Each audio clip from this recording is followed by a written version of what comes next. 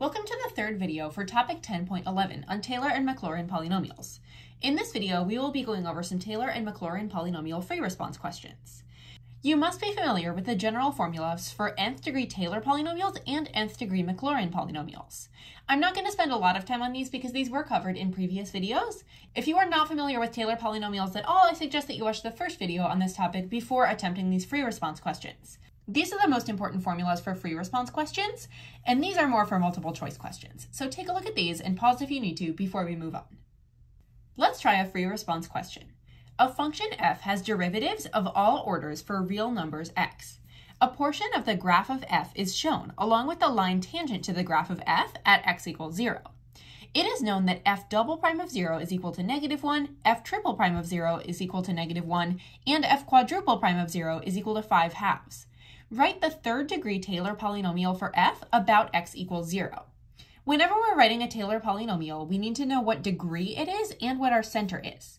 In this case, our center is x equals 0, which means that we're really dealing with a Maclaurin polynomial here. Now, they also didn't specifically say let p sub n of x represent the nth degree Taylor polynomial for f about x equals 0, so I'm just going to write that out briefly to be very clear with what I'm doing on my free response question. Now that I have this notation defined, what I'm going to do is write out a generic formula for any third degree Taylor polynomial for a function about x equals 0. So because we're working with a third degree Taylor polynomial, we're going to say p sub 3 of x, and then what is that equal to?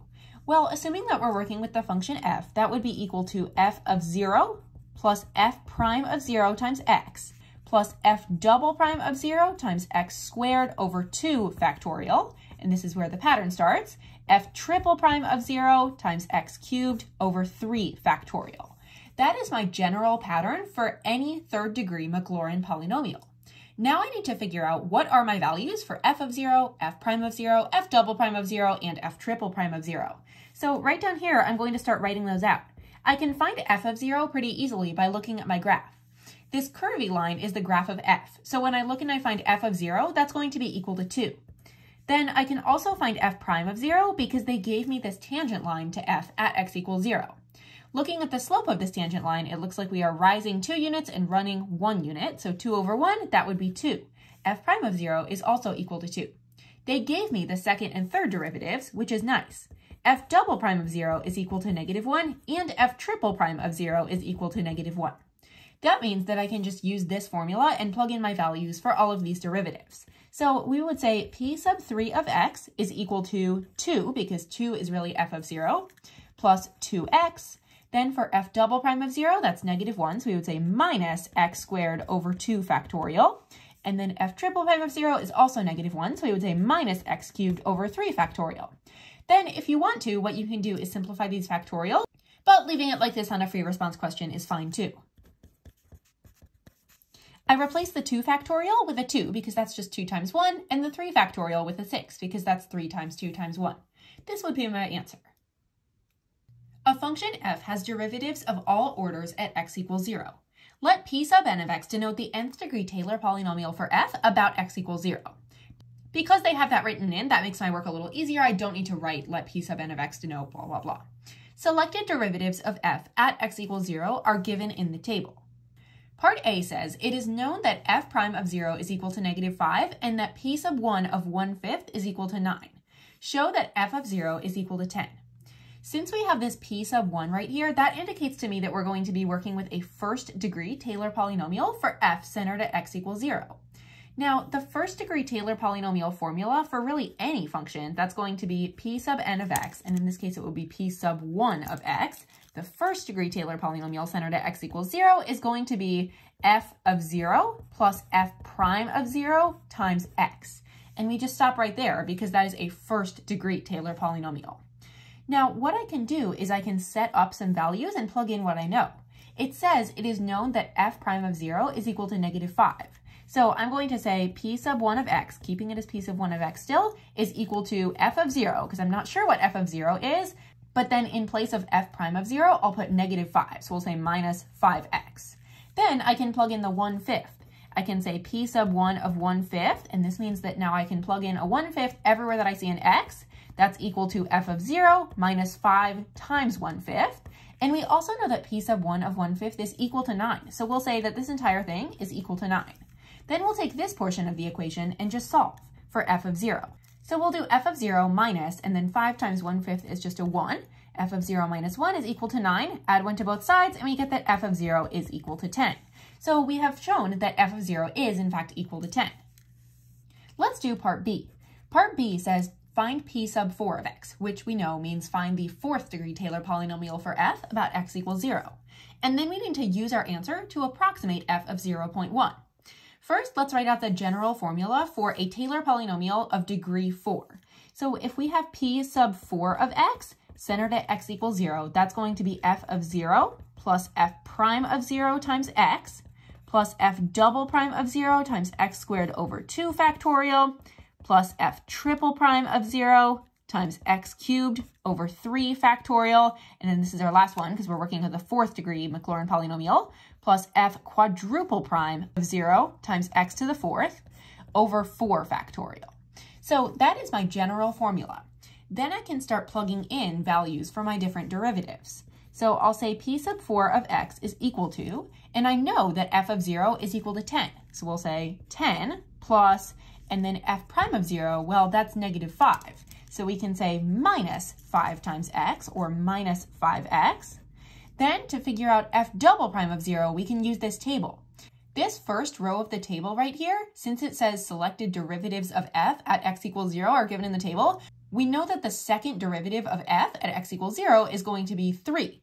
So we'll say plus 3 times x squared over 2 factorial then for the third derivative at x equals 0, we know that that's going to be 0. So plus 0x cubed over 3 factorial. When we simplify, that one will go away. Then the fourth derivative of f at x equals 0, that's negative 1 half. So we'll say minus 1 half times x to the fourth over 4 factorial. Then I'm going to clean this up a little bit. And I should do that in this case because I'm trying to use this polynomial to approximate f of 0.1. And that'll be easier if it's clean and simplified. So we'll have 10 minus 5x plus 3 halves x squared because 2 factorial is really just 2. It's 2 times 1. This term goes away entirely because we have the 0. And then for this one, we have minus 1 half over 4 factorial. 4 factorial is 24. So this is really saying minus 1 half times 1 24th or minus 1 48th x to the 4th. So this would be p sub 4 of x, and that was part of what it was asking me for as my final answer, so I will box that. Now, it also says use your answer to approximate f of 0.1. So now what I will do is I will say f of 0.1 is approximately p sub 4 of 0.1, and then I will go through and I'll plug in a 0.1 everywhere that I see an x up in this equation. Then I can go through and plug this into my calculator to get a decimal answer. and that winds up being 9.514. Now we can round or truncate to three decimal places.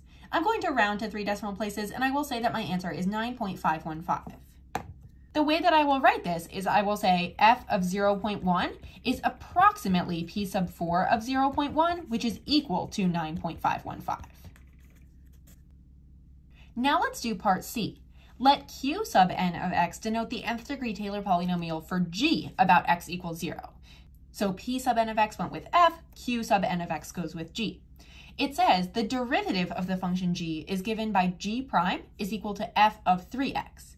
It is known that g of 0 is equal to negative 2. Find q sub 3 of x. Since I'm being asked to find q sub 3 of x, I'm going to write out my general pattern for any third degree Maclaurin polynomial. So we know that q sub 3 of x is going to be equal to g of 0. And notice that I'm using g instead of f here because we're working with the function g now. g of 0 plus g prime of 0 times x plus g double prime of 0 times x squared over 2 factorial plus g triple prime of 0 times x cubed over 3 factorial.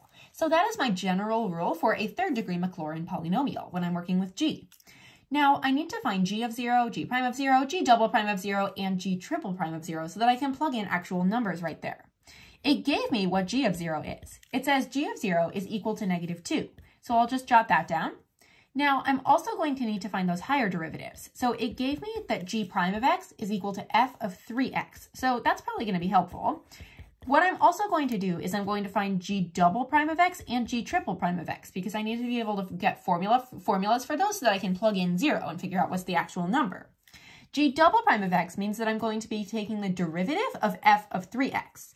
Now, you might think that, it, that that is just f prime of 3x, but since we have 3x stuck inside here, that means that we need to use chain rule here. So this is really going to be 3 times f prime of 3x. Now the same rule is going to apply when we take g triple prime of x. That would be 3 times 3f double prime of 3x. So 9 times f double prime of 3x. Now that I have these formulas, I can go through and I can find these at x equals 0. So for g prime of 0, that's going to be equal to f of 3 times 0, or just f of 0. And I know that f of 0, based on this, it gave me that f of 0 is equal to 10. So we'll say that is equal to 10. Then for g double prime of x, g double prime of 0 is going to be equal to 3 times f prime of 3 times 0, or just f prime of 0. f prime of 0, I know that f prime of 0 is negative 5. So we have 3 times negative 5, which is equal to negative 15. Then for g triple prime of 0, that's going to be 9 times f double prime of 3 times 0, or f double prime of 0. f double prime of 0, based on this table, is going to be 3. So we have 9 times 3, and that's equal to 27. Now that I have all of these values, I can plug them into my, to my formula up here. So we would say q sub 3 of x is equal to g of 0 is negative 2, so we'll have negative 2 plus 10x, since g prime of 0 is 10, minus 15x squared over 2 factorial, since g double prime of 0 is negative 15, plus 27x cubed over 3 factorial, since g triple prime of 0 is equal to 27. Now, it is perfectly fine to just leave your answer like this. You do not need to evaluate the factorials. You can if you want to, but in this case, I'm just going to leave it like this. This is a valid answer for q sub 3 of x. Let y equals f of x be the particular solution to the differential equation dy dx equals y times x times the natural log of x with initial condition f of 1 equals 4 it can be shown that f double prime of 1 is equal to 4. Part A, which is the only part that we're going to be doing here, says write the second degree Taylor polynomial for f about x equals 1. This is different from the ones that we've been doing prior to this because we are now centered around x equals 1, not x equals 0. Use the Taylor polynomial to approximate f of 2. Here's what we're going to do. First, since we're working with a second degree Taylor polynomial centered around x equals 1, we are going to write out the general formula for a second degree Taylor polynomial centered around x equals 1. Now, since they did not specifically indicate what p sub n of x means, we're going to have to say that p sub n of x indicates the nth degree Taylor polynomial for f about x equals 1. Now that we have this statement written out, we can write down what p sub 2 of x, the second degree Taylor polynomial for f about x equals 1, would be equal to. This would be equal to f of 1 plus f prime of 1 times x minus 1 plus f double prime of 1 times x minus 1 squared over 2 factorial. And if we were to continue that pattern, we would keep changing the derivative, the power right here, and the number that we're, that we're taking the factorial of. However, we only need a second degree Taylor polynomial here. Now the values that we need to find are f of 1, f prime of 1, and f double prime of 1. They gave us f of 1. It says f of 1 is equal to 4. f prime of 1, I'm not quite sure how we're going to find that, but for now, let's just write down what we do know. f double prime, it says f double prime of 1 is equal to 4. So we have these two values, and we just need to find f prime of 1. While they didn't explicitly give us a formula for f prime of x, they did give us this differential equation f prime of 1 is going to be equal to dy dx evaluated at x equals 1. Now, since there's a y and an x in our differential equation, that means that we need a variable to plug in for y and x when x equals 1. We know that the initial condition is 1 comma 4. So when x is 1, f of 1 is going to be 4. So we'll just plug in this point 1 comma 4. We'll find dy dx at 1 comma 4. Then we can figure out what this is by just plugging it into the formula y is 4, so we'll have 4 times and then 1 times the natural log of 1. The natural log of 1 is equal to 0, so that makes this entire thing equal to 0. Now we know that f prime of 1 is equal to 0. And now that we have these three values, we can write our second degree Taylor polynomial. p sub 2 of x would be equal to 4, which is f of 1, plus 0 times x minus 1. Even if it's a 0, it's good to show that process of plugging it in so that you get full points and then plus 4 times x minus 1 squared over 2 factorial. Then I'm just going to do a bit of cleanup here. We'll say p sub 2 of x is equal to 4, and then this is going to go away entirely. And then the 4 over 2 factorial, 2 factorial is just a 2. It's 2 times 1. 4 divided by 2 makes a 2. So we'll say 4 plus 2 times x minus 1 squared. That is our formula for p sub 2 of x, the second degree Taylor polynomial for f about x equals 1. Now it also asks us to use this Taylor polynomial to approximate f of 2. So we will say that f of 2 is approximately p sub 2 of 2, and then we'll plug in a 2 everywhere that we see an x in this equation. That would be equal to 4 plus 2 times 2 minus 1 squared. And this would be equal to, let's see, we would have 4 plus 2 times 1 squared. 1 squared is 1, so we're really just doing 4 plus 2 here, so that's equal to 6. So this would be my answer for part 2. I would say f of 2 is approximately 6. The graph of the function f is shown below. The area of the shaded region, which is the area between the x-axis and f, for 0 being less than or equal to x being less than or equal to 2, that makes a lot of sense looking at the graph, is 1.518. The line tangent to f at x equals 0 is horizontal. So they're talking about this line right here, and that means that that line has a slope of 0. Let g be the function defined by g of x is equal to the integral from 2 to x of f of t dt. Recall from our FRQs from chapter 6 that whenever we see something like this, where we have g of x is equal to the integral from some constant to x of f of t dt, that really means that g prime of x is equal to f of x. If you're not familiar with that, there is a separate video that I have on that topic. Part A says write the second degree Taylor polynomial for g about x equals 0. First, let's write out the general formula for a Taylor polynomial. In this case, we also need to say, let p sub n of x represent the nth degree Taylor polynomial for g about x equals 0. When we're writing out p sub 2 of x, that means that we're going to need to take f of 0, and sorry, in this case it should be g of 0 because we're working with the function g. So we'll have g of 0 plus g prime of 0 times x plus g double prime of 0 times x squared over 2 factorial. Now we need to find g of 0, g prime of 0, and g double prime of 0. If we are trying to find g of 0, we can find that using this integral. So we would take g of 0 is equal to the integral from 2 to 0 of f of t dt. Now recall that when our bounds are flipped like this, when we see the smaller number on top, we just put a negative sign on the front and flip those around. So this is equal to negative integral from 0 to 2 of f of t dt. This is where this area that they gave us is going to come in handy. We know that the integral from 0 to 2 of f of t dt is going to be equal to 1.518. Therefore, we know that g of 0 is equal to negative 1.518.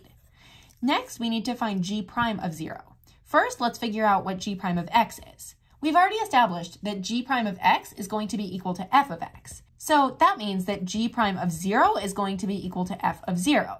Now, f of 0, we can see very easily on the graph that f of 0 is equal to 1. Then we need to find g double prime of x. g double prime of x would be equal to f prime of x, because if we take the derivative of both of these sides, we'll have g double prime on this side and f prime on this side. We can see that the slope of the tangent line to f at x equals 0, it was given that that was horizontal, which means that we have a slope of 0 right there. So this would be equal to 0 and not necessarily always. This implies that it would always be equal to zero. If you write the equal zero on the end there, we need to indicate that g double prime of zero is equal to f prime of zero, which is equal to zero because we have that horizontal tangent line. Now that we have our values for g of zero and g prime of zero and g double prime of zero, what we're going to do is plug it into this formula. So we'll say p sub 2 of x is equal to g of 0 is equal to negative 1.518 g prime of 0 times x, that would be 1 times x, so we'll just do plus an x. And then g double prime of 0, that's 0. But even though we have a 0 there, we still want to write that because it says write the second degree Taylor polynomial. So even though the coefficient is 0, to make sure that our answer is compliant with what they gave us, we're going to have to write it like this. This would be our second degree Taylor polynomial for g about x equals 0. Let's do part B. Use your answer from part A to approximate g of 1 eighth. We know that g of 1 eighth is going to be approximately p sub 2 of 1 eighth. And whenever you're doing this, make sure that you say that it is approximately equal to. It's not exactly equal to because Taylor polynomials provide a good approximation, but they're not always exact. So to find p sub 2 of 1 eighth, what we do is we just plug 1 eighth into this formula right up here. Now at this point, I could ignore this last portion because I know that that is going to be equal to 0. So we'll just say negative 1.518 plus 1 eighth. On a free response question without a calculator, you are not required to simplify. So your answer would simply be g of 1 eighth is approximately negative 1.518 plus 1 eighth.